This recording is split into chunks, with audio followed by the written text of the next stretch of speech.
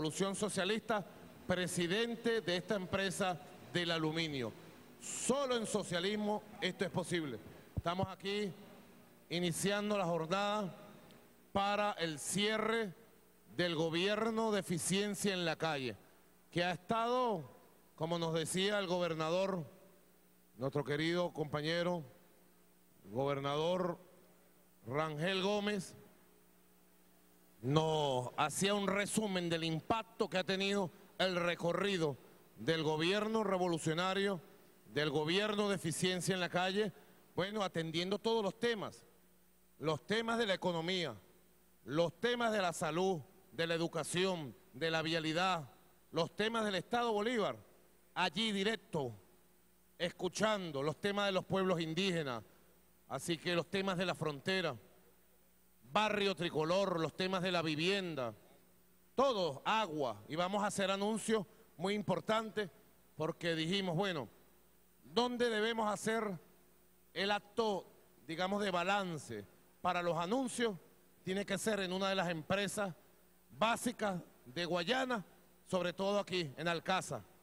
Alcázar ya le estaban rezando el novenario cuando llegó el comandante Chávez y nombró al camarada Ángel Marcano y aquí estamos, miren, un milagro de la revolución, esta planta extrusora de aluminio que le da vida al CASA y la proyecta hacia los años futuros como una empresa productiva para Guayana y para todo el país. Es el milagro de la revolución. Estamos también con el general Carlos Osorio, flamante presidente de la CBG. Es un general obrero, porque está, mira, metido allí, hombre de lucha, de trabajo, de los centauros del comandante Chávez, de los oficiales revolucionarios formados en nuestra academia militar y que se han forjado en la lucha de todos estos años. Está el ministro de Industria, camarada Ricardo Menéndez también, están los representantes de la empresa china que ha tenido sobre su responsabilidad toda la parte de ingeniería, toda la parte técnica, los compañeros del sindicato, los compañeros trabajadores.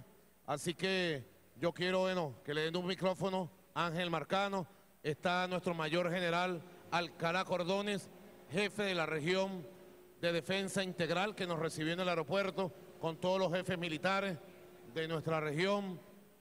Le damos un saludo y un abrazo de hermanos revolucionarios y también siempre por allá, calladita, María Cristina Iglesias, ministra de la clase obrera venezolana, compañera de mil batallas del comandante supremo Hugo Chávez Frías. Bueno, vamos a recorrer esta planta extrusora. Ángel ve explicándole al país todos los alcances de esta planta, cuánto costó esta inversión, en cuánto tiempo la construimos y el producto final. Adelante, Ángel. Sí, presidente, una nota importante es que esto fue uno de los sueños de nuestro comandante supremo Hugo Chávez. Presidente Chávez en el año 2009 decidió en, en esta planta cerrar las líneas 1 y 2 por obsolescencia y montar una planta de transformación. Con los trabajadores decidió que era una extrusora y montó y asignó recursos a través del Fondo eh, Gran Volumen China-Venezuela y y con la empresa Precesi de Italia, con tecnología italiana, se montó esta planta. ¿Cuánto costó esta inversión? 55 millones de dólares. De dólares. Que los puso constante y sonante el comandante Chávez. El comandante Chávez. Correcto. ¿En cuánto tiempo se desplegó esta instalación? Esta planta se desmontó desde el 2009, el desmontaje de las líneas 1 y 2. La hicieron los mismos trabajadores de Alcázar. No se contrató a nadie para eso. Y se firmó el contrato el acuerdo con la empresa Presese el año 2012 para dos años, en dos años culminar. En marzo de 2014 tiene que estar concluida y la estamos concluyendo hoy. 14 meses después. Bueno, con un adelanto de... Ese eh, milagro solo se puede hacer en socialismo, porque como dijo el comandante supremo y nosotros ratificamos, estas empresas básicas, compañeros trabajadores, trabajadoras de todas las empresas básicas, estas empresas básicas tienen que vivir el milagro del socialismo. Esta clase obrera industrial, compañeros y compañeras, ustedes tienen sobre sus hombros la posibilidad de construir con el socialismo empresas productivas que le entreguen a la patria no solo su producto, como tú nos lo vas a demostrar ahora, cuál es el producto final, qué beneficio tiene para la patria, sino que entreguen también un producto económico para el fortalecimiento de la economía del país.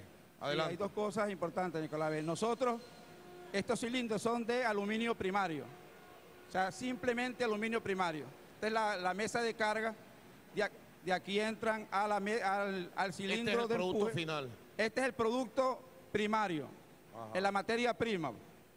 Esto es lo que nosotros, estas plantas fueron montadas por los gobiernos del pasado de la cuarta para exportar materia prima, para regalar nuestra energía, el, esfuerzo de los trabajadores. El modelo colonial El modelo colonial.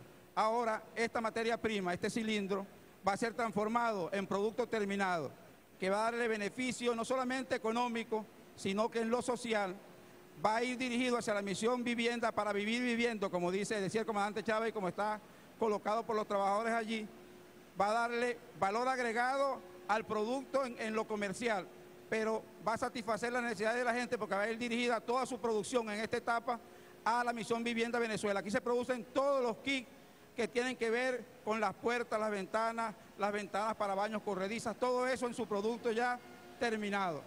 Este es el horno de calentamiento, aquí se mete el aluminio primario y eh, se calienta hasta 450 grados los cilindros de aluminio primario. De allí pasa a... Tengan cuidado los compañeros de las cámaras. Estamos en una industria que necesita estrictas medidas de seguridad. Tengan cuidado. En cualquier lugar que te golpee, termina fusionado con las láminas de la Gran Misión Vivienda Venezuela. Bueno, vamos a pasar rápidamente por aquí. Vamos a, hay que guardar las medidas de seguridad industrial en el trabajo. ¿Ah? Bueno, vamos a seguir, compañero Ángel, presidente de Alcázar, continúa tú la explicación que estás dando a toda Venezuela y a través de Telesur, aparte del mundo que nos escucha y ve el milagro del socialismo bolivariano y chavista, donde la clase obrera debe tener cada vez más un papel estelar para la dirección, conducción, administración, gestión y desarrollo de las empresas fundamentales, de las empresas de la economía venezolana.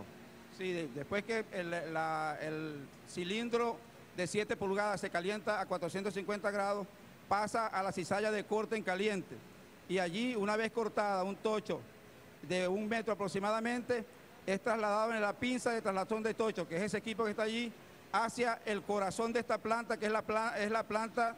La pinza de traslación, de, tochos. El tocho lo trasladan a la planta de extrusión de 7 pulgadas, que es el corazón de la planta. Y ese tocho sale ya en producto terminado. En este caso son perfiles, perfiles tubulares que sirven para Esos perfiles tubulares ustedes los planificaron, los diseñaron, ¿bajo qué criterio? ¿Qué tipo de perfil están produciendo y por qué?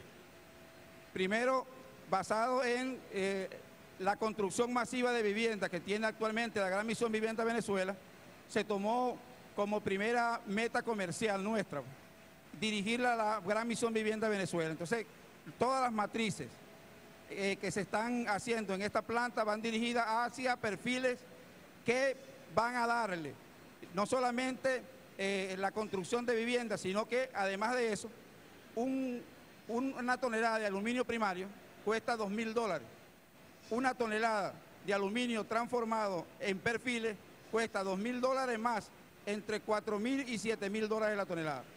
O sea que el proceso de transformación le agrega bueno, un valor plus extra que permite, en primer lugar, el valor para la producción de viviendas en el campo del desarrollo de la nación, de la patria.